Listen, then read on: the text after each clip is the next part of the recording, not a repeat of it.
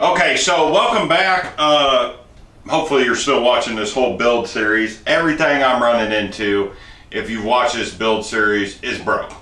So this does not surprise me on the rear end. We're going to get that, redif that rear independent rear suspension differential built out here uh, pretty soon. But now that we have the front tires and everything done with the front end of the quad, I need to go in and we need to remove the rear A-arms, the rear shocks, and rebuild these rear hub bearings and get everything ready to go. These hub bearings are actually stuck. They are not moving.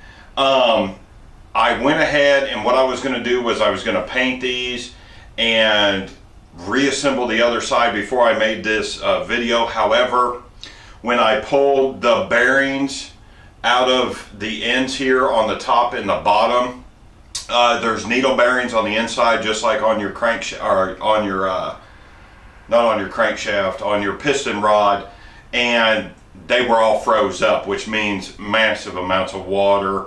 These things have actually I shouldn't say that this hasn't that these haven't been torn apart because one of them looked like they would like it was brand new and the other one on the bottom on the other one that I was doing both of them were stuck so I believe that this quad has seen some maintenance, but not very good maintenance because if you had all this stuff apart, you would just take care of the issues all at one time. So um, I don't want to scare anybody off from doing any of this work yourselves. I'm going to walk you through step by step, but here's the deal. These quads are old. Um, the This stuff that I'm doing in this video, this stuff that needs to be done on a continual basis. A lot of this stuff um, just for maintenance purposes, you're talking, uh, yeah, this is a high performance. You're supposed to change the oil in these quads every 10 hours. So, you know, you're talking two, three years on a lot of these bearings and stuff. And this stuff never gets done. Really, to avoid this, is you just need to keep everything greased. And after you take it out mudding and riding, you just need to clean it up. It's, it's when it sits dirty, nasty, parked, full of mud, it's been underwater yeah, you know, maybe you're in the desert, I don't know, but where we ride around here, it's water and in the woods. So uh, you just need to clean the clean the equipment off after you use it. But we're gonna go ahead and get into this, and I'll show you how to do this. My prediction is that the needle bearings on the inside are stuck as well.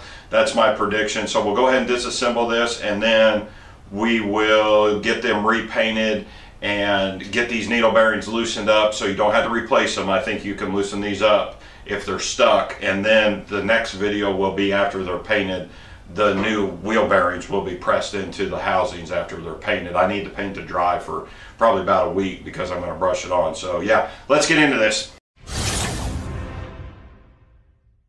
Okay, so we're at the toolbox here. I don't know if my face is going to stay on the camera for this. And uh, what we have is here's our wheel bearing housing and we'll go ahead and get started on this.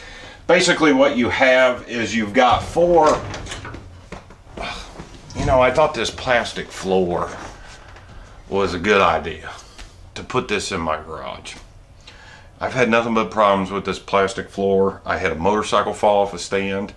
Uh, my motorcycle lift, I had to put abrasive tape on the bottom of it because it slides and this bar stool is sliding on this uh, floor. Don't think I'd recommend this plastic floor for somebody's garage that necessarily is going to work on motorcycles. Be great if you're just going to park car or need something nice. But uh, motorcycle work, and you uh, have a paddock stand and swing arm stand and steering head stand, and you're taking the forks off of motorcycles, I just don't think I can recommend it. But anyway, what we have is we'll have four of these, the rubber housing, what we're going to do is we're going to take a screwdriver and just kind of pry the end of it up and then we're going to just remove it. And I actually sprayed this down with some, uh, uh, well, I used Amsoil Power Foam Cleaner, which is used to clean intake manifolds. But I had to get these kind of cleaned up. Um,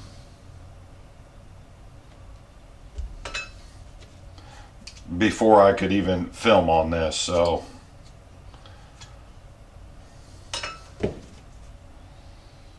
and this one piece of rubber here is actually starting to uh, starting to deteriorate. So we will address that at a later date. We're not going to pull it out. You can kind of see that it's starting to uh, fall apart. So I'm actually going to try to pull this out. And of course, they're not going to pull out the bearings. So we're going to have to beat them out. And what we're going to do is I'm just going to use the other needle bearings off of the other one I've already disassembled and we are just going to go alongside here. And once I got these to move see these needle bearings I guarantee are stuck because they're not even they're not turning at all. So we'll just kind of tap this out of there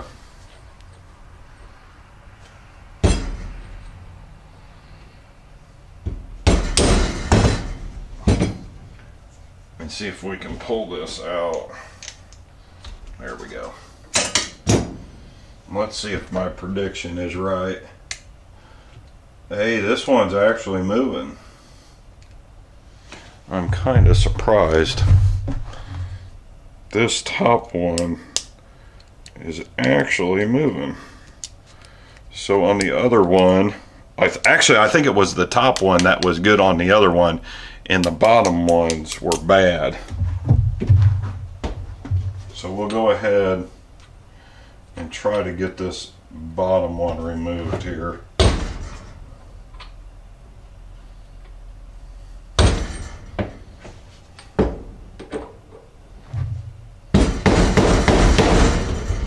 There we go. Scratch out my new toolbox.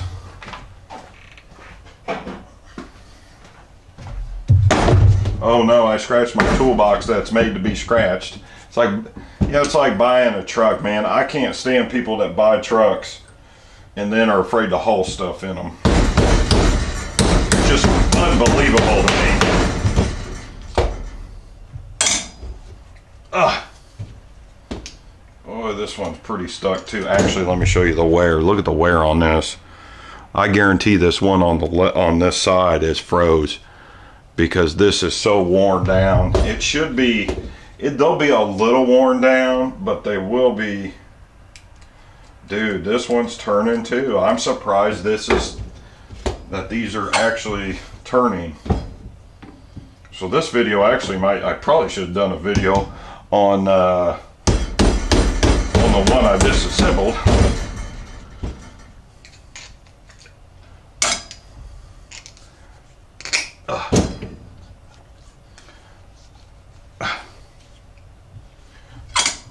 Really, we're gonna have to punch that all the way out of there. Oh, great. Where in the hell did that go?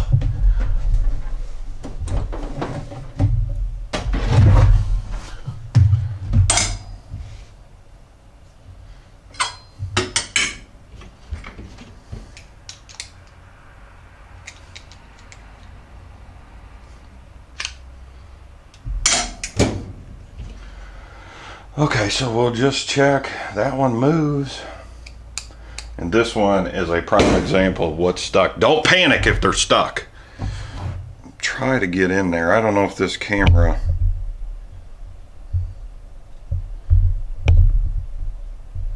is real clear in there.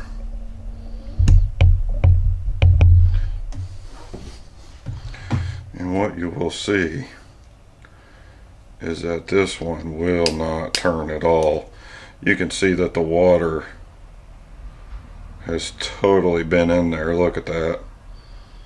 So what we're going to do is we're going to spray this down with heavy duty degreaser and we're going to go ahead and clean the other side and then we'll go ahead and clean the top side as well.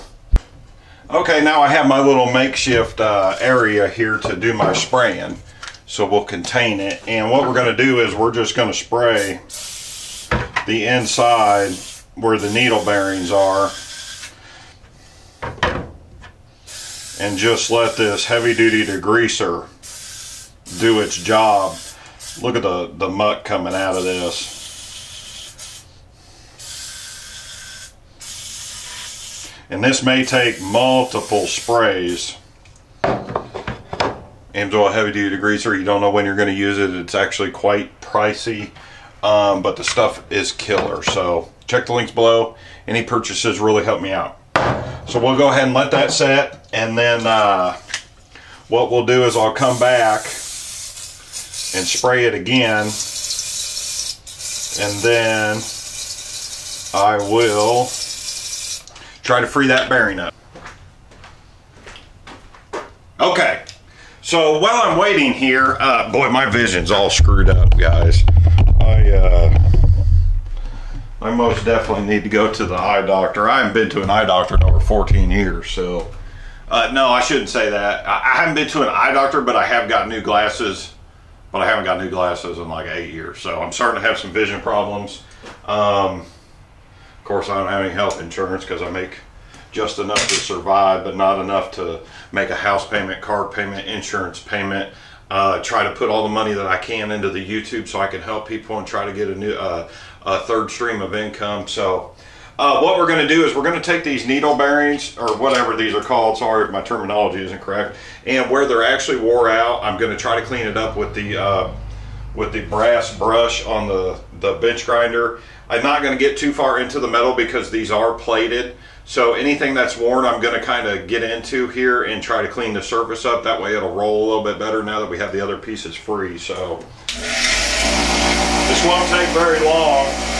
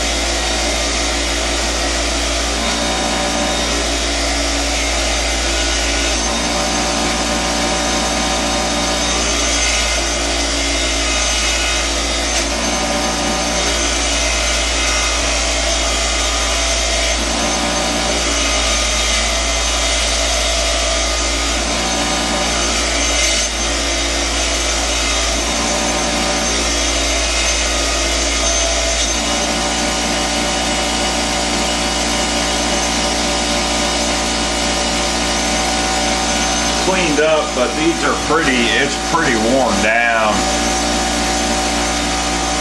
They're still usable though. What I'll do is I'll try to flip them to the other side, especially on that top one that's worn down.